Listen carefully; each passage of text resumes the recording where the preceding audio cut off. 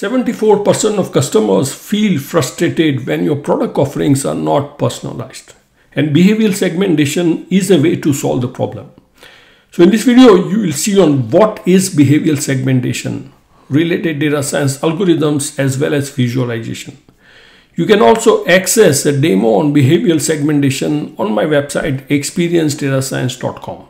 So let's jump in. Simply said, behavioral segmentation is about understanding customer behavior, how they interact with your product or website, how often they use it, how much they spend, and what products they buy. It requires collecting data from various sources such as website navigation data, billing data, product purchase data, and lots of other sources. More data you have, better you'll be able to understand the behavior.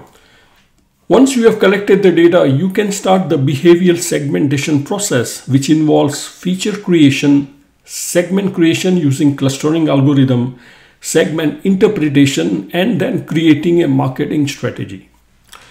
In order to illustrate the process, let me take an example of a telecommunication company who has collected data on customer demographics, what services the customer has, as well as the billing information. Now we can create segments using a clustering algorithm and assign each customer to a segment. Shown here is the result of clustering algorithm and there are three segments which are shown here in blue, red and green color. Each dot corresponds to a customer and we can hover over the dots to see the customer details.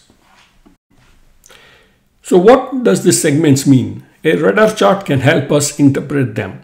For example, the green cluster is one with the customers with the highest tenure and who use all services such as internet services, online backup, tech support and streaming movies.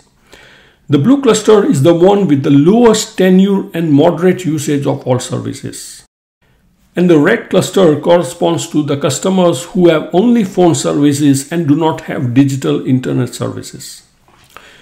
Now we know the customer behavior, we can develop market strategy.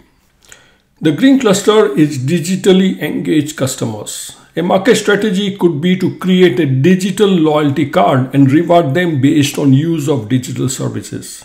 This in turn will also increase the revenue for the company.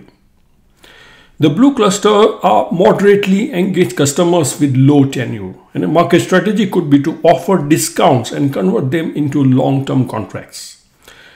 The red clusters are basically customers with only phone service and a market strategy could be to educate them about the advantages of digital services and then upsell digital products. You can try out the demo on behavioral segmentation on my platform experiencedatascience.com. The demo is located over here. You'll be able to see the data, make the clustering as well as interpret the clusters. No coding is required and you can hover over the tip button to see on how to use the demo.